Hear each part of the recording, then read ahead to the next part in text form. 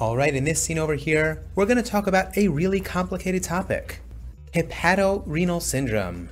And we're going to make it really easy and a lot of fun. Here we have a failed liver, and specifically a cirrhotic liver, perhaps due to alcohol or a virus.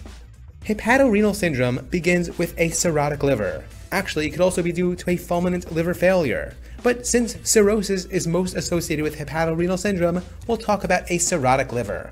Now, of course, when a liver is cirrhotic, that is, it undergoes cirrhosis, this scar tissue makes it difficult for blood to flow through the liver.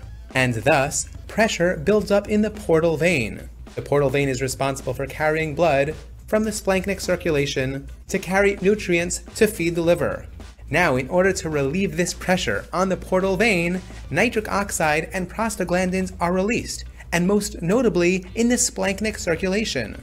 Here we have various arteries and vessels of the splanchnic circulation, and they are being vasodilated by nitric oxide and prostaglandins. This leads to an overall systemic decreased vascular resistance. And which organ picks up on this decreased systemic vascular resistance? The kidneys. Here we have one of them, of course there are two, we're going to focus on this kidney over here.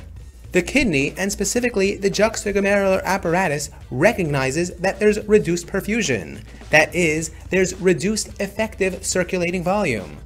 And what does the kidney do in response to that? It activates the RAS system, the renin-angiotensin-aldosterone system. Here we have this nephron over here in order to illustrate what occurs.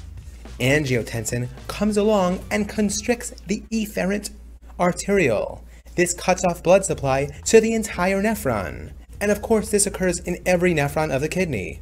Now as we mentioned before, the splanchnic circulation remains vasodilated, and the kidney continues to pick up on this decreased systemic vascular resistance so it continues to constrict the efferent arteriole, continuing to, in effect, strangle the nephron to death. And this is exactly how, in hepatorenal syndrome, liver cirrhosis leads to renal failure. Now, I've simplified things in this video just a bit.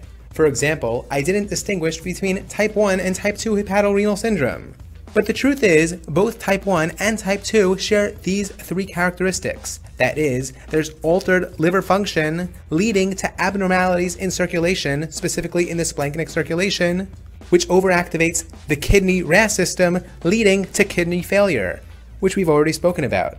What I also didn't mention is the involvement of other organs in this process. For example, the baroreceptors of the aorta are also somewhat involved in this process, along with vasopressin released from the brain.